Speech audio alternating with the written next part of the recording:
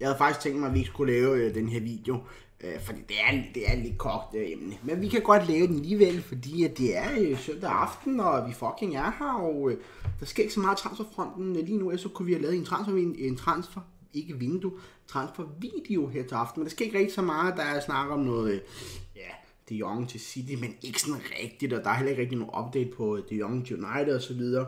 Der sker ikke rigtig noget. Øh, det eneste, der sker, det er noget, øh, Dybala, han er færdig i Juventus. Øhm, det er selvfølgelig spændende nok. Så er der Padicic, øhm, som måske skal til Chelsea. Så der sker altid noget, øhm, men ikke rigtig, ikke rigtig noget giga, giga, giga, vil, vil jeg sige lige nu, vel? Øhm, og derfor tager vi lige øh, den historie i stedet for. Sorry, jeg lige sidder og tænder, men jeg vil gerne lige indrømme, at jeg har lige siddet og spist en næsten hel pose Doritos, så jeg er fucking fed. Sådan er den, sådan er den søndag aften, så skal far lige... Øh, Ja, jeg var på vægten i morges. Jeg ved godt, altså, slap jeg af. Jeg var på vægten i morges. Øhm, sagde 100,0. 100,0, ikke? Den har været op på 110 før, så derfor så er vi jo fucking tynde. Klart, at, at, at når jeg går på vægten i morgen, ikke, så siger den 100,0, ikke? Men hvis jeg gik væk nu, så ville den sikkert sige 102 eller 103 eller der, for jeg er fucking fed, ikke? I løbet af dagen, så får man lige connectet en lille, en lille skål. Okay, okay, okay. Nu skal vi videre. Sorry for larm, øhm, men her er vi. Goddag der, var jo øh, en lidt snak om, at der var to United-spillere, som var oppe og slås til træningen. Ikke? Øh, Lingard øh, og Maguire, er det så, øh, så siger de så, at det er dem, der har været oppe og slås. Og det, det er jo, de er jo ikke så vigtigt, at de har været oppe og slås. Det er det ikke. Altså, det værste, vi kan lige tage den hurtigt. Hvis man kan huske på et tidspunkt, så øh, var der to Newcastle-spillere. Hvis man har set, jeg så kampen, så var der to Newcastle-spillere, som var op og slås på banen, altså under en kamp for samme hold.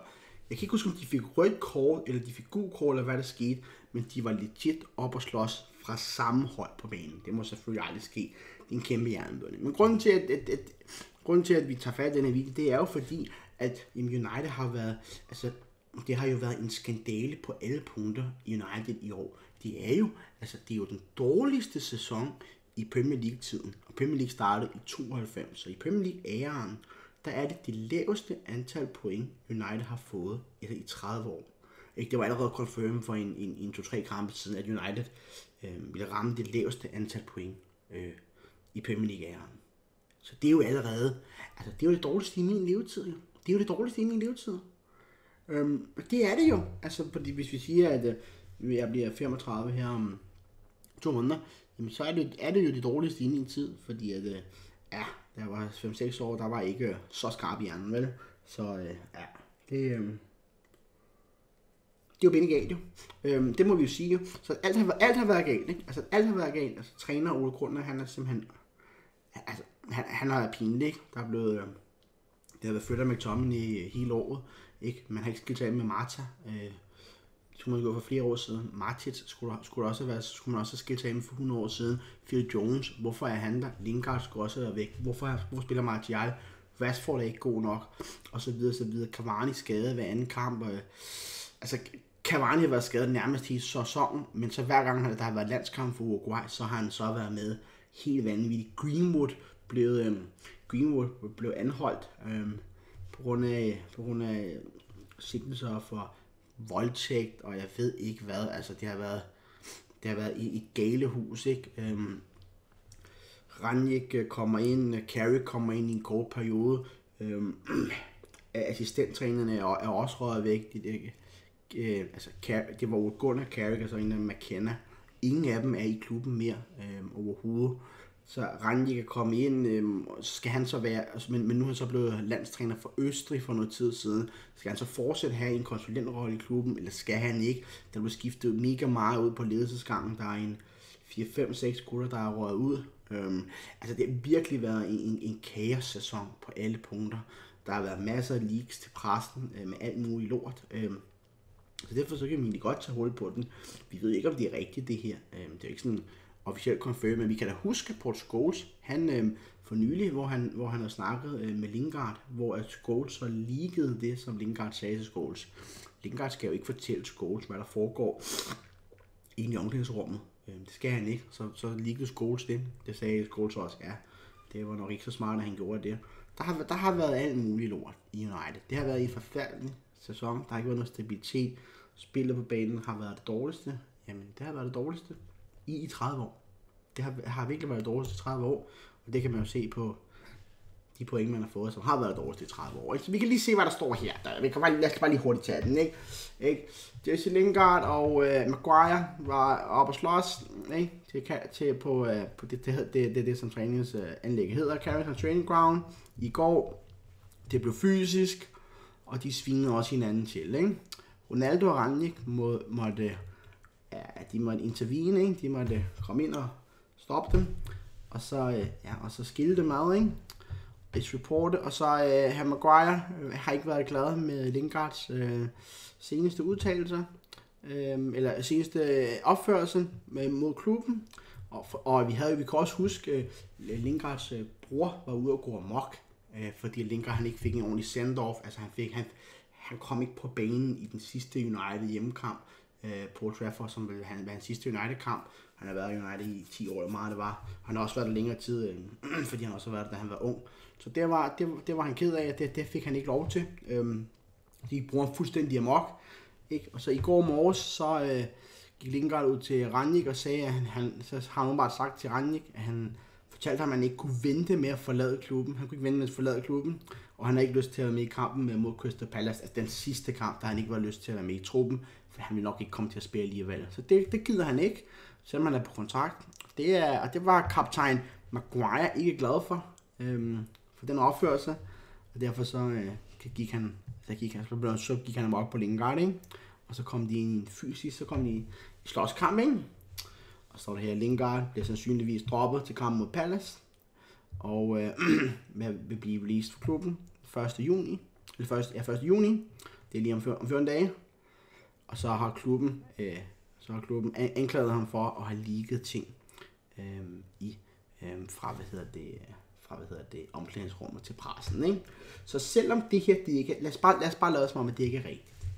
Selvom det ikke er rigtigt, jamen, Lingard, hvis vi nu fokuserer på Lingard, han har altid, altså han, han, er, han er ikke min type. Han er en lalleglad type, der står og danser. Der er jo en, en, en gammel udtalelse fra Rooney, øhm, for Rooney, at Rooney øh, har spillet øh, sammen med både Pogba øh, og Lingard, og så Rooney var stadig, de havde, United havde tabt en kamp, og Rooney var stadig mega, mega sur, efter de havde tabt en kamp. Øhm, så kommer han ind, ind i omklædningsrummet, og så står øh, Lingard og Pogba og danser og bare fjoller. Ikke? Ligesom, det, hvor seriøsiteten inden, altså når man taber en kamp, jamen så, øh, så skal man altså, så skal der fokus på drengen, ikke? Så det er en, det er en anden mentalitet, man havde i gamle dage, ikke? Og jeg synes aldrig, at Lingard har været særlig lækker. Jeg kan også huske en episode, hvor at, øh, som jeg, jeg, som jeg så også i videoen, ikke på Snapchat, men det var på Snapchat, hvor han havde, de havde været på hotel Lingard, de havde været på hotel, ikke? de er jo fucking rige jo. Altså selv, selv hvis man er en dårlig spiller som Lingard, en, en, en middelmåde spiller som Lingard, jamen,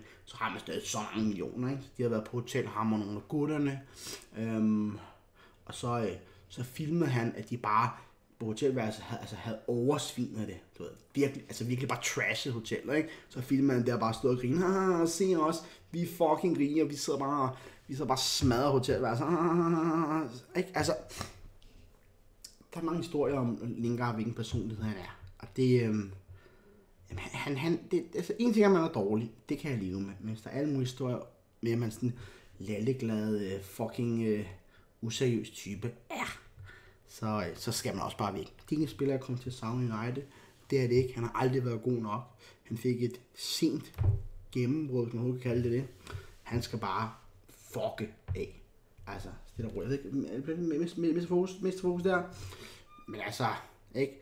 Så derfor så er det relevant nok at tage det her op, selvom at det ikke er verdens største, øh, største, største vigtighed. Øh, det er det ikke, men øh, vi hører ikke det her fra de andre klubber. Vi hører ikke noget om, at nogen fra Chelsea, der kommer op og slås. Liverpool, Arsenal, Tottenham, City. Vi hører ikke det her. Det gør vi ikke. Fordi der, der, ligesom, der er ligesom styr på det. Der er styr på lortet. Okay, vi hører en gang med McGralish og Foden opfører sig dårligt eller andet. Nå, men så, så sætter Pep den på plads. Ja, ikke? United, der er ikke nogen, der sætter den på plads. Det må vi håbe, at Ten Hag kommer ind. Jeg forventer, at Ten Hag han er gigahård. Det jeg har læst, det er, at han skulle være brutal Ten Hag. Det kunne være lækkert. De trænger til noget disciplin, de her spillere, hvis det skal lykkes. Jeg lover dig for, at der er psykopatdisciplin i alle de andre topklubber. Øh, det er der. Så øh, vi må håbe, at det bliver bedre i United næste sæson. Øh, og så skal de bare fuck af alle de spillere, som ikke kan opføre sig ordentligt. Og jeg, altså, en Rashford for eksempel, han er jo bedste venner med Lingard. Det ville ikke være dårligt, hvis Rashford han ryger ud. Vel? Jeg brækker mig over Rashford. Jeg brækker mig over alt det der PR-lort, han laver. Alt det der børnebøger, og det der velgørenhed og så videre. Igen, det er ligegyldigt, han laver alt det der PR, hvis han bomber den ind på banen. Det er det vigtigste. Men det virker, det virker lallet. Ikke? Og så er der for eksempel Maguire. Jamen, Ingenting er, at han er dårlig. Det er, hvad det er. Men der var jo også Maguire.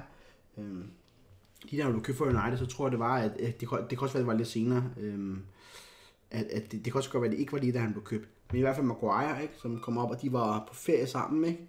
Og så øh, kom de op og slås, så røg han i fængsel i, i Grækenland og så videre. Så røg han så ud, og så var noget med at sagt, hvor du hvem fuck jeg er, hvor du, hvor du hvem jeg er, ikke? hvor du hvem fuck jeg er, ikke?